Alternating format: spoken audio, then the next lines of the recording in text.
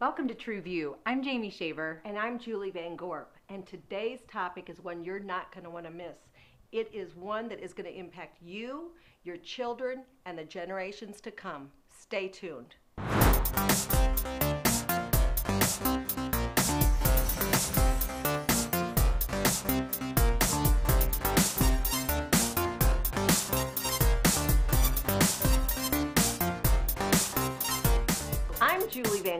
And I'm Jamie Shaver.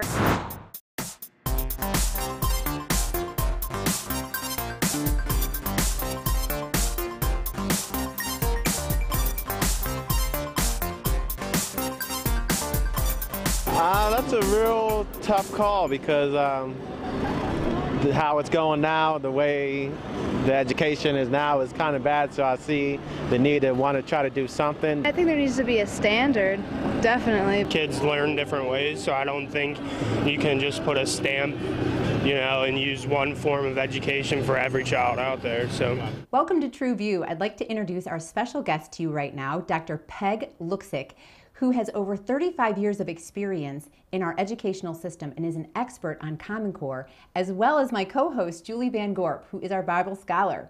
Uh, Peg, the topic is Common Core. What is Common Core?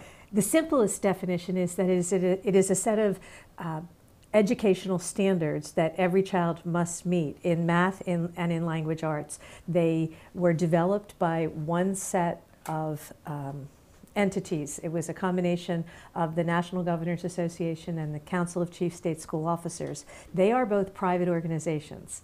They are both nonprofits, so they're not governmental bodies. They developed these standards and basically marketed them. And so 45 states signed on, and so now every child in every public school in those 45 states, and Pennsylvania is one of them, is mandated now to have their education revolve around the achievement of those standards. Now, when you say mandated, at this point, is Common Core a law that states are legally bound to?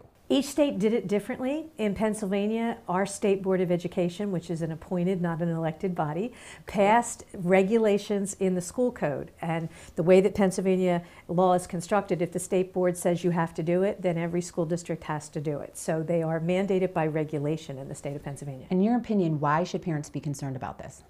There's a number of reasons. that's a long answer. Well, um, that's why we're doing a show on this. um, so let, us break it down a little bit. Yeah. The first problem is that Common Core begins with the premise that government can mandate that everyone, every child achieve the same knowledge to the same level at the same time. Now, that sounds like, well, why wouldn't you do that? So let's move it to healthcare because it makes it really easy to see how ridiculous this is. If we were going to mandate healthcare standards, we would say your weight has to be, your height has to be, mm-hmm. your blood pressure wow, has to that's be, a great your pulse has to analogy. be, and everybody has to be that. Can we mandate that? The scripture verse, train up a child in the way he should go, and when he is old, he will not depart from it. That scripture, when you look at it in the original language, has to do with the fact that the bent of that child, that particular child. For example, you're a mother. What do you mean bent? I was just going to say, you're a mother of three children. I've been around him, and each one of those children is very different, very unique. You can't even discipline all three of them necessarily because that doesn't have to do with that particular child's bent in the sense of their personality, their passions, their right, interests. What are the things completely, and mm-hmm. the things that are going to be their passions? For example, one child might have a passion for math, where one has a passion for something, uh, the arts. So if we say, I mandate everybody has to right. be creative, and you weren't gifted by God with that particular as aspect, but it's something else that I can see where that would be such a problem. It is a problem. And I'm listening to you guys going, but wait, wait a minute here. If that's the standard, why? Why? What is the agenda? What's fueling this? If it, it I'm yeah, not even an educational person, and I go, that makes no sense at all. Well, the rhetoric that is used is that we want all of the children to wind up what is called college and career ready. So when you listen to the, the debates, and I've participated in a few, okay. Uh, it's, well, they have to have the skills they need to enter the workforce or to go to college. But when you push on go to college, the way that's defined is able to go to the lowest courses at a two year community college. In fact, there's an organization called the National Center for Education and the Economy. They're one of the federal think tanks that have been a driving force in this since the 1980s. And they published a document called What Does It Mean to Be College and Work Ready? Right. So you'd think if they would know. And they said uh, being ready to go to a community college, and they defined that by saying middle school math, Algebra 1 by the end of your sophomore year in high school because they said that most community colleges begin their math programs in Algebra 1.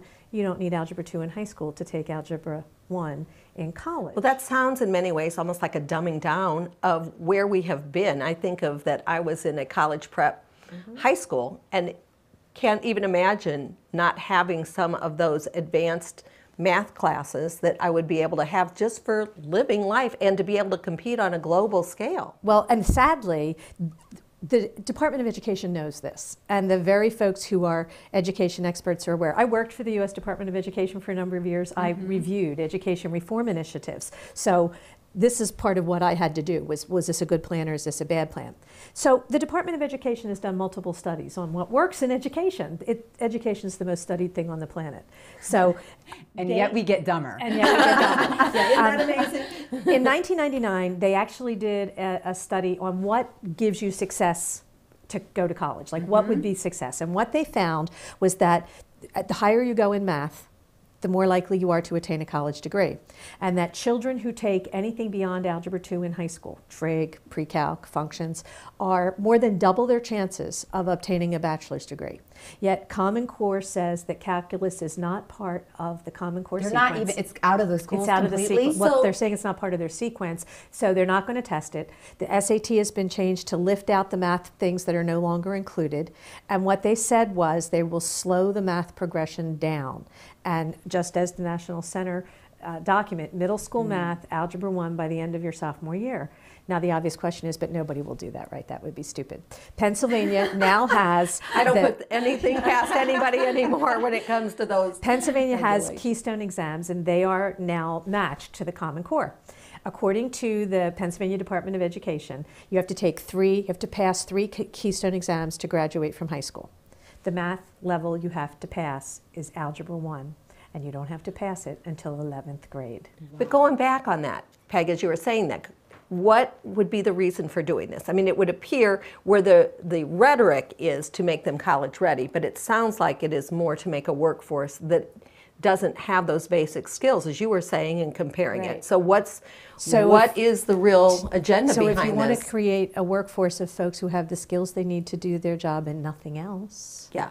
And to obey whomever is in authority and not have critical thinking skills Yeah, that are going to cause them to challenge Right, and it's on. it's not just math. Math is very easy to argue because it's so obvious what they're Right, doing, yeah. and because they fly in the face of what the research says.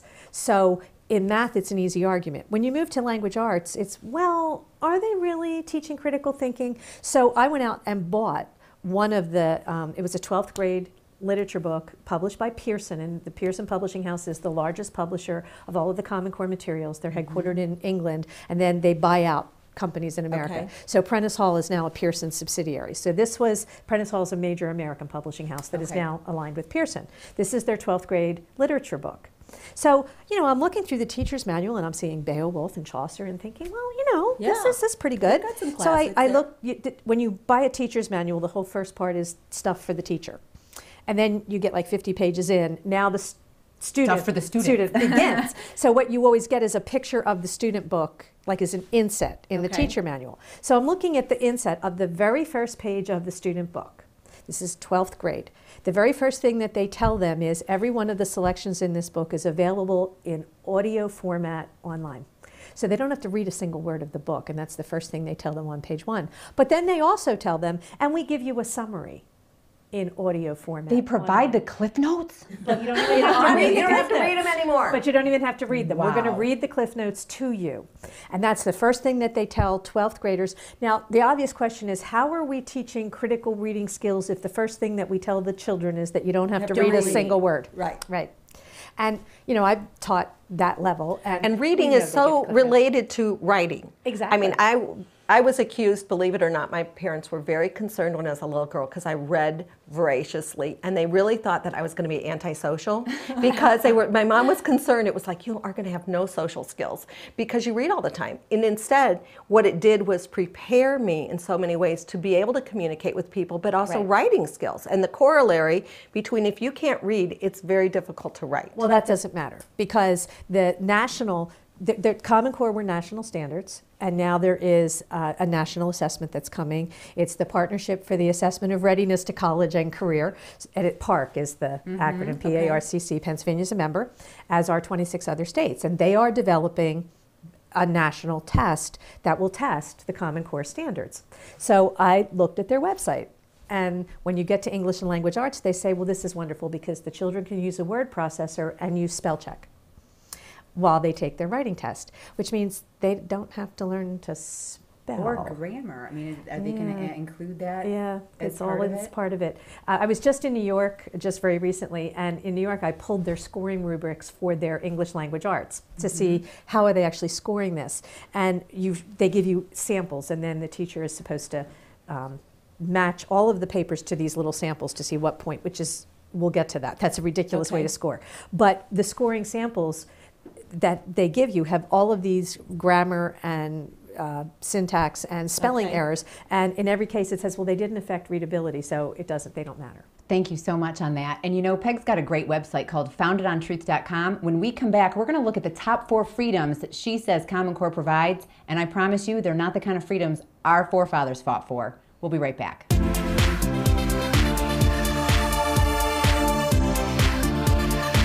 Not federally regulated, because every kid is different and every Yeah. state's different. I guess you know we can see, try to see what works. It should uh, be left to the state and the education boards within the states, you know. Um, and I think teachers need more say in the way the curriculum is going to be distributed and put out there.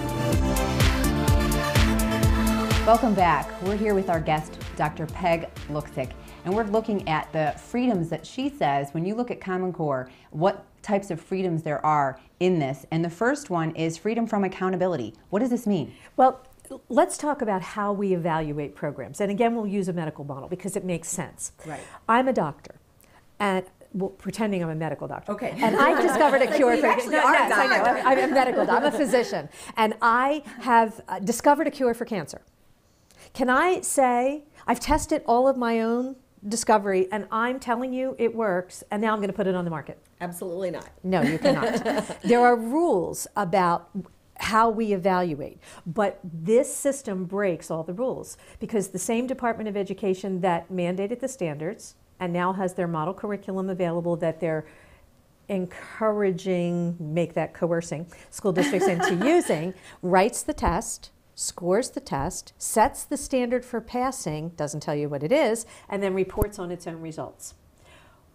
If a business went to a bank with that kind of an audit, would you give them any money? Absolutely not. And Neither yet we're giving them our most valuable asset, which is our children. Yes.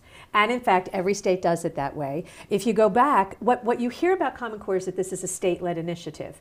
And in one state, one of the senators said to me, Well, we were doing this anyway. And I looked at him and said, Yes, but you were always mandated to. Because in 2001, the federal government passed No Child Left Behind mm. that forced the states to adopt content standards, schools will teach, achievement standards, every child will learn the same thing to the same degree, create assessments to measure the achievement.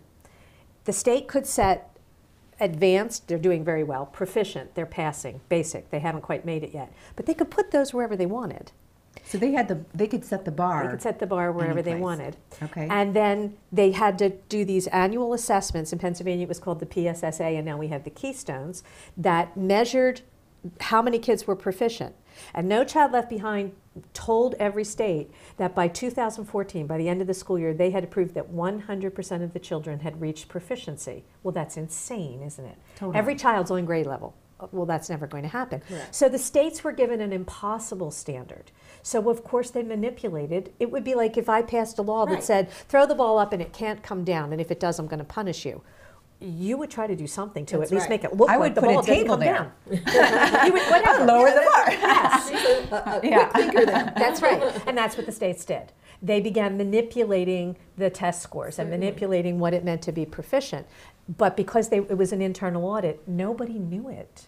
So in mm. Pennsylvania, uh, the first keystones were given in 2011 and 2012. And so I actually went into the Pennsylvania website and said, well, what does it mean to be proficient in the Algebra 1 test? If you got a 33% in one of the sections, you were proficient. In no section did you need more than a Failing has now become proficient. in no section did you need more than 60% to be proficient. And Pennsylvania was not the only state. They all did it. Wow. In Georgia, the way that they put the test to, I pulled, um, I didn't, I got some of the cut scores, but what I Mm-hmm. actually got in Georgia was how they set the proficiency scores. So they You show up and you're good to go. no, they, they brought the teachers together. Yes, they, they bring the teachers together and they gave the teachers the test. And then they scored it and said, now what do you think would be passing on this test? So all the teachers in this panel said, well, we think it will be here. And then they came back and said, okay, if you put it there, this is how many students will be proficient. oh, no then. Did, That's did you right. want to move it? Let- Let's bring it down just a little. So Think, they- rethink. So they moved it, and then they did it all again, and they went. If you put it there, this is how many students will be proficient. Would you like to move it? Now, what does that mean, though? Like, why? What is the From benefit? 60% to from- 33. well, I'm just saying, what is the benefit mm-hmm. on the state's end or the school's end to show more students proficient? Because the federal government in No Child Left Behind mandated that every child by 2014, this school year, proved that 100% of their students met that proficiency standard, or there would be big penalties. And Financial penalties. Oh uh, yeah, penalties and uh, some of it included teacher turnaround. There was a turnaround school model in the in the law that said if you didn't, if the school didn't make it, you could lose your principal and half your staff. Oh, so they were they're fighting for huge penalties. They're fighting just to survive, and it's a federal mandate down. And in those 12 years, the states had to keep setting what were called benchmarks, meaning, okay, in the first year, half the kids were proficient, but the next year, 60% of the kids have to be proficient. 70% of the kids have to be. So they had to keep proving they were moving Right. toward this 100% standard. I see. But they could put the standard wherever they wanted. So, So there's really no accountability. And and, and Julie, when you look at to God's word about accountability, there's a lot to say. God has a lot to say about that. He certainly does. And one of the things that he wants us to do is learn personal responsibility because all of us are going to stand before God and have to be held accountable for what we've done. So 33%, I would say, is not really being held accountable either as a s- as a student. oh, by no means. No. Yeah. The kids didn't know it was 33%. Neither did parents. All they knew was they got a piece of paper that said your child was proficient. Yay! I had to go into the back of the website to find it. No state not getting ever the grades said- You mean No. all those things on the back of cars that says my child's an honor roll student, and you're going, you made 33%. Are you Right. Now, that doesn't necessarily mean that the teacher in the classroom in her regular test scores were doing that, but the state, State assessments assessments. were doing that. And they were doing it because the feds mandated this impossible standard. Remember our health care? If every doctor had to say, that all of his patients had met the standard for blood pressure, and if the patients didn't have the minimum the, the minimum blood pressure level, he would lose his job. What would every doctor do? I think that He would everybody would be making that. standard. That's You I would say 240 over 190. That That's the good, good. standard for blood good. pressure, which is you would die practically. But because you, when you mandate an impossibility and then attach penalties if you don't meet it, people caught in that net try to figure out how to prove they're doing something that can't be And done. Julie, why are standards so important? Real quick. God again is a God of standards. And I was immediately thinking that he is always accused of being an unfair God. He is the just God, he's a holy God. But you talk about his scales of justice that we can count on. He's told us what the, the rules are, what we need to do in order to have heaven, which is to believe in his son Jesus, but the commands versus the fact that these are completely unrealistic and a moving target. Right. See, there's a difference between a content standard. The schools are supposed to teach this and saying we're going to mandate that every child achieve it. Absolutely. When we come right back, we're going to look at the the second freedom, um, as it's called here, and that is the freedom from privacy. You're not going to want to miss this. Stay tuned. God's Word is life changing, but some people just don't know how to study it, especially when they have a specific issue or need in their life. What if you had this? I want to introduce you to a topic specific Bible study in a box where you will learn, pray, and conquer life's challenges through this easy to use Bible study so you can live victoriously. Through this study, you and your friends and family will receive the life changing power of God's Word in a simple, effective way. This study contains 52 cards that have a scripture on one side and a prayer relating to that scripture on the reverse side. You can use the study in its entirety or one card at a time in so many different ways. Be inspired during your family devotionals. Your child will be inspired at bedtime. Read a new one each day before work. Or simply send them to friends and family who might need encouragement. The sky's the limit. To order the Bible study in a box, simply visit trueviewministries.org and click on the shop link. Bible Study in a Box is a great tool for memorizing scriptures and learning to pray effectively. Don't hesitate. Go to trueviewministries.org and click on the shop link at the top of the page to order today your Bible Study in a Box. Take your faith to a new level and order today.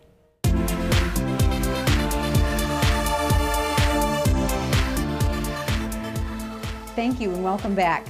Um, Peg, you mentioned the next freedom is freedom from privacy. Why do you say this? What is it about a school curriculum that is going to invade our privacy that we don't have it anymore? Common Core wasn't just about a school curriculum. And if you look at the regulations and then you go back and look at what the federal government mandated the states to do, they had to create what was called a P through 20 data system.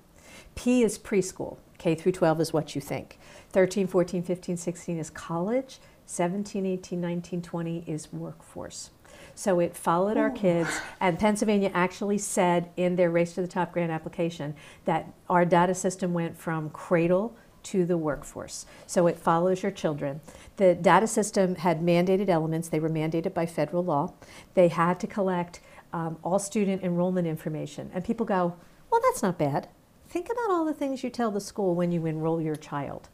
You may give them your religious affiliation. Right. You say where they mm-hmm. live and who they live with, who's in the home. You probably give them health records. You may give them financial records because of free lunch or reduced sure. lunch programs. That becomes part of a database that goes, the federal level mandates it and the information is shared all the way up to the federal level and it can be made available to researchers and it has been made available to researchers and it can be made available to anyone who has a legitimate educational interest and that includes vendors to the schools. Okay, now right there I got to stop because in using your same analogy you've been using in the healthcare, I know that anytime I go to the doctor, I have to sign some HIPAA sheet and that mm-hmm. they can't do this. Is there some sort of way out for parents who say, uh uh-uh, uh I don't want you sending this information to vendors and no. selling my kids information? No, you can't opt out. You have no control over what data is collected and you have no control over where it goes. Uh, some states, because it, it's all over the whole country. Mm-hmm. There, there's, it's actually called the National Student Clearinghouse, and people can go online and look it up. And states give their data there, and they collect um, what school districts give them personally identifiable data, and it says that right on the website. And there was actually a FERPA challenge, the uh, Federal um, Educational Rights and Privacy Act was a challenge. Can you collect this information? And that, yes, we can, because if it's anywhere in a school directory, then we can collect it, including your height and your weight any disciplinary records. It's kind of funny if a child is in trouble with the criminal justice system at the age of 18 that record is sealed. Right. But if they do that in the school, it follows them forever. So wow. so some of these kids even that recently have been suspended for putting their finger into the shape of a gun, for or example. Eating a Pop Tart and the teacher thought it looked like a right, gun. so that yes. could be that disciplinary record that continues to follow you. Forever. Yes. Yes, forever. Oh, so it follows so you scary. into college and into the workforce. And Pennsylvania um, proudly told Washington in their Race to the Top grant application that they had the complete database. It's really kind of funny because you know we're having. Is this a, a database just for public schools, or is this a database that no. is also in private schools? Yes. What about homeschool parents? Homeschool I parents, mean, no, but the Pennsylvania database says that all public schools and all uh, state registered private schools have to comply. So yes, it's in both um, wow. systems. And it's called the Pennsylvania Information Management System. And I've had parents say they've talked to you know government officials who say we don't have a database. You can Google it. Just Google, it's called PIMS, Pennsylvania Information Management System. There are volumes of information that they collect. They're, it's federally mandated, so they're required to collect it. Well, this just bothers me so much as a parent and with school age children that I have no right to to protect my children and that's an important thing, Julie. The essence of it is is family is God's idea, it's God's creation. God has mandated that we are to raise our children. We are to raise them in the fear and admonition of the Lord. We're to teach them his commandments, we're to teach them the truth, we're to teach them what is going to be necessary for them to live a godly life in Christ Jesus. And when we look at that, this is so incredibly appalling because it really is the the states taking over the role that God has entrusted and given to the parents. Right. And it doesn't start in kindergarten anymore because remember, P through 20, yes. preschool. So Pennsylvania and other states um, are looking for what they're called early learning challenge grants. And they are federal grants. And actually, Pennsylvania right now has government officials out there talking to groups saying, you know, those early years are so important that we can't let parents be in charge. That's not the end of the sentence that they say, but that's actually what they're saying, that we can't let parents do it. We need to have control. Uh, President Obama wants universal preschool. There's funding being made available to make that happen. So We've it's done so well the with the levels. universal health care. I would definitely say let's make yeah, let's sure that we to do that for the education. So, but it's it's a broadening of the arc, so that we're moving all the way down. And government officials across the country are actually making speeches say the children belong to everybody. Okay, I've I got heard hold that on, the- Julie. What lessons can when she says the children belong Yes. to everybody? What lessons from history can we learn from those types of statements? Because that frightens me. I'm seeing a visual right now, Jamie, of a picture that I saw during Nazi Germany days of seeing these infants that are basically laid out on the table. That it was the essence was these are the state's children, and it is no longer that it's a husband and a wife. And you look at the breakdown of the whole family that is going on in our culture, it just lines up again with the whole aspect of removing the family's role, their responsibility to raise the children, but that they are as you're saying, instead of being God's children first and then entrusted to the parents, they're really being looked at as being the state's children, is what I hear. Peg. and sadly that's what we're hearing too from government officials all over the place so it's it's a it's a radical restructuring and it's kind of interesting because the uh, one of the groups that was behind the development of the common core standards and proudly says so. On their mm-hmm. website says we're very proud that we did this because we moved this from a radical agenda to the to a national agenda. Like we've, we've changed it from radical to now this is. So it was a it was a So the radicals now become mainstream. yeah. Yeah. Yeah so Wow. they, they, knew that they were doing something very different Well, this is such an important topic. I'm sure, as you can know, um, just in listening to what's going on here. And if you're a parent or you're just concerned, uh, grandparent, stay tuned because we've got more to come.